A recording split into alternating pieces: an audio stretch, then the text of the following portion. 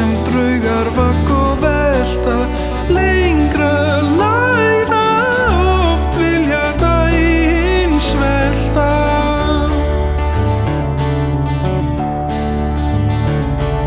Stór agnaröð oft er dýrð í dauða það í miðjum draumi sem heitum